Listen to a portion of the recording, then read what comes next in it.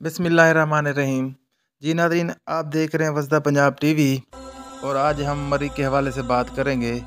मरी की बर्फ़बारी देखने गए चार दोस्त भी मरी में मौत की आगोश में चले गए। मौत से पहले चारों की एक साथ सेल्फी ने सबको रुला दिया। ज़िंदगी जीने गए थे, लाश बन के वापस घरों को भेजे जा रहे हैं। एक अलामिया के मुताबिक, जब मरी को सियाहों के लिए बंद किया गया तो लोगों ने आधे रास्ते से मुड़ना शुरू कर दिया। हालाँकि उस वक्त ही मरी में आधे होटल खाली पड़े थे। इस वजह से भी लोग ज़्यादा रास्ते में फंसे हुए हैं क्योंकि सारे लोग वापस मुड़ने लग गए। आईएसपीआर के मुताबिक मरी में बर्फ़बारी में फंसे तमाम गाड़ियों को चेक कर लिया गया है और तमाम अफराद को फ़ौज ने रिलीफ कैंप में मुंतकिल कर दिया है। जी हाँ दोस्तों जब कभी भी पाकिस्तान में कोई भी आफात आई है तो सबसे पहले फ़ौज ने अपनी खिदमत फराम की हैं।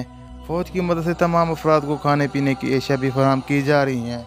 मरी में आर्मी की तरफ़ से पाँच रिलीफ कैंप बनाए गए हैं। तो फ़ौज के नौजवान लोगों को रेस्क्यू कर रहे हैं और रिलीफ कैंप मुंतकिल कर रहे हैं।